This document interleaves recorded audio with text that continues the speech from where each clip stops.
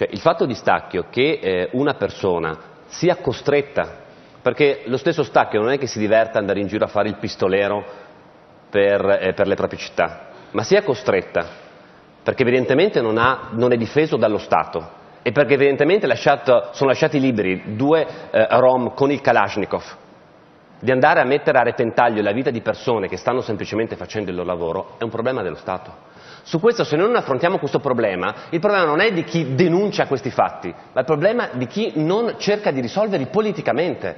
Quando Freccero parla parlava della crisi, non si può imputare a chi denuncia la crisi e le mancate risposte alla crisi la colpa, ma chi quelle risposte non le dà. Se c'è il 13% di disoccupazione generale, quasi il 13% massimo storico, quasi il 43% di disoccupazione giovanile, non si può dare la colpa di chi denuncia questo, questo disastro nel Paese. No, no, è vero, però quando Quindi... tu hai una situazione sociale così disastrosa, eh, la retorica dell'armiamoci, armiamoci, armiamoci diciamo, forse non è esattamente quella diciamo, più distensiva. No? no, non ricordo una parola di nessun, di, di Salvini, né tantomeno mia, né di qualcun altro che ha detto eh, andate in giro tutti col fucile. No, in giro anzi, no. Casa. Anzi, a casa. Anzi, no, ha detto a casa se uno entra per fare del male alla mia famiglia non può pensare che venga colpevolizzato quello che cerca di difendere la propria famiglia, se non c'è lo Stato che impedisce questi atti.